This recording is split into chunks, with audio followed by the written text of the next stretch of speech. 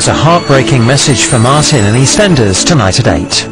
Now on BBC One, it's Christmas, so why not raise your glasses?